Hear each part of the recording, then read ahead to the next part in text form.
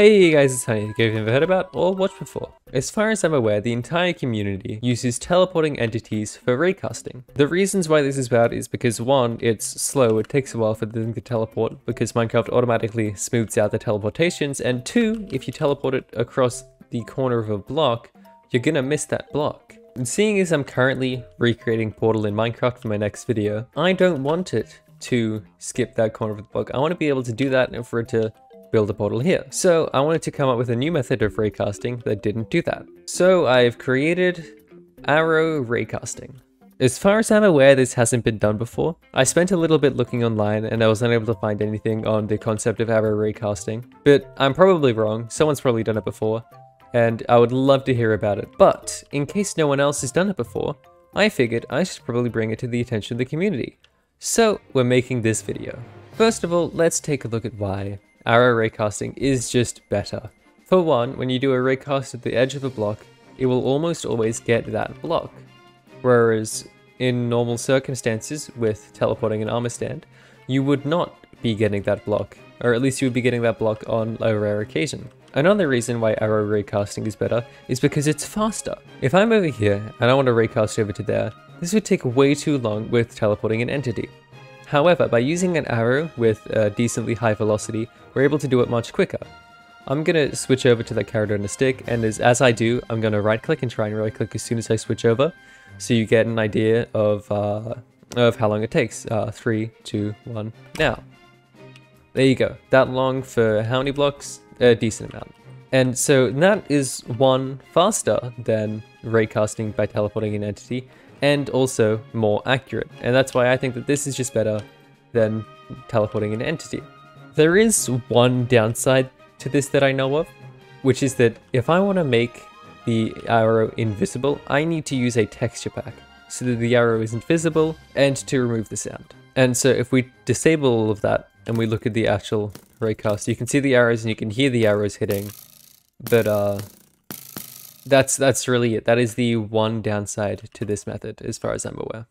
So let's talk about what makes it work. So these two command chains here are pretty much the exact same. It's just the difference between a blue portal and an orange portal. It's all been done before, it's nothing new, and I found it all on the Minecraft commands wiki. I'll leave a link to where I found that in the description. So, after we've done this, you'd expect it to be easy, but there is still one issue. When we fire this, and we look at where it is on the ground, you'd expect that if we were to execute a command at the arrow and we were to execute uh, set block stone, you'll find that it is indeed not inside the block but on top of it. So we're unable to do that to figure out what this block is. So we need to continue down the trajectory. So you'd expect that we could just do this and look and go one in front of where it's looking. But when we do that, you'll find that it does this. And this is because Minecraft is a terrible game. It's so bad because when we look at where the arrow is actually looking, it's looking nowhere near where we want it to look. It's looking off, off here. And when we look at where the arrows are looking, it feels almost like they're looking in a completely random direction, but that is not actually the case. If we were to take this angle here and multiply that by negative 1, you would find that we would end up looking over this way. And it's the same with the uh, with the Y rotation.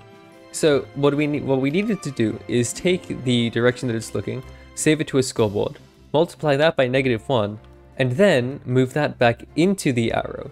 And by doing all of that, we'd be able to take this arrow and make it look negative 1, negative 1, which is where it should be facing. And that's what this next command chain does. This first command block here takes the arrow that has landed in the ground, detects when it lands in the ground, and gives it the tag casting. The reason I've given it this tag is so that when we delete it later on, it doesn't delete other ray casting arrows that are currently in the air. This next command block takes the Y rotation of the arrow and saves it into a scoreboard under the arrow. Then this command block here takes that score and multiplies it by negative 1. And then, once the Y is done, you repeat that for X, and then you have the X and Y that you needed to be looking saved in a scoreboard. After that goes through and we have the values that we wanted to be looking at saved in a scoreboard, we run this command line. What this first command does is takes the value we have saved in the scoreboard for the X rotation for the arrow and applies that to the arrow. The second command block then does it for the Y, and after that, all we need to do is detect the block just in front of it because now the arrow is facing the right direction, and then we kill the arrow after our command is done. If we disable this command block, we can see that when the arrow hits the ground, it'll then flip around so that the direction that it's facing is the direction that it was previously traveling in. If anyone has any questions, I'd be happy to answer them. If you want me to give you the commands, I'd be happy to give them to you. But yeah, with all of that being said, thanks for watching and have a great day.